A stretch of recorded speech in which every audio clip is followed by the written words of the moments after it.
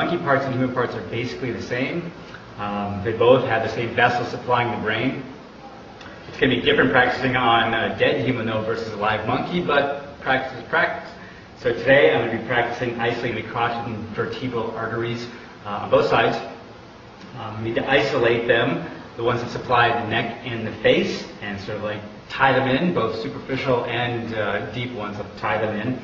Uh, not sure how it's going to work. It could be a little ugly, Especially if his skin's just a slop. Oh, oh Jesus!